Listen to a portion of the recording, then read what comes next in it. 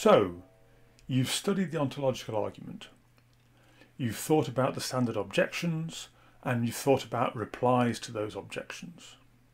Still, though, even though you understand it, you might wonder what's the point. After all, it was written in Latin at a time where the only people who could read Latin were members of the clergy, so presumably people who did not really need a proof of the existence of God. And besides, there weren't any atheists. The religious competition came from Jews and Muslims and the few remaining pagans. So, what was the point? In order to see what the point was, I think you have to look at the argument in the two documents where Anselm presented it. That's the Monologion and the Proslogion. In both of those two documents, Anselm presents the ontological argument very quickly at the beginning and then moves on to talk about other things. The other things that he talks about are mostly paradoxes. So in the Monologion, he talks about the idea that um, God has to be everywhere and at all times, but also is not in any place and is, doesn't exist at any time. How does that work? That sounds like a contradiction. The Monologion talks a lot about the Trinity, and the doctrine of the Trinity presents something of a, a paradox to the logical mind. Eventually, uh, having turned it over, Anselm says that um, it's inexplicable, but we have to believe it. And he has to explain how a reasonable person can do that, how you can um, believe something that's ultimately inexplicable.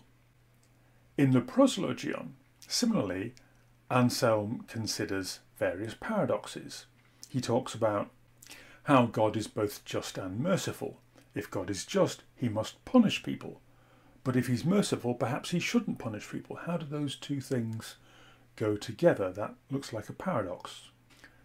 Again, God is supposed to be omnipotent, but there are things he can't do. He can't tell a lie, he can't be corrupted, he can't change the past, according to Anselm.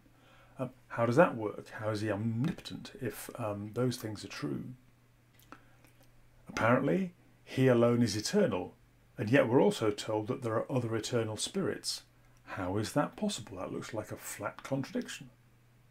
God is both seen and not seen by people who believe. And finally, in the Proslogion, uh, Anselm talks some more about the Trinity.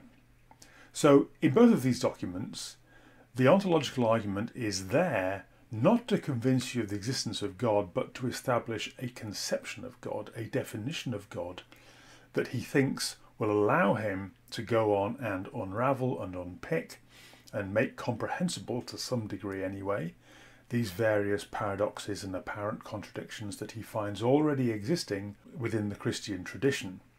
And that's the point. That's the value of it, is that uh, the argument, the ontological argument, sets him up to do this paradox unraveling exercise. That's why the motto of both these documents and the title of the uh, Proslogion originally is Faith Seeking Understanding. Seeking understanding is particularly difficult if you inherit a religious tradition that seems to be full of paradoxes and contradictions. And the value of the ontological argument, the point of it for Anselm, is that he thinks it's a tool that uh, allows him to unravel and unpick, or at least to make um, acceptable to a, a reasonable person those contradictions and paradoxes. That's the point of it.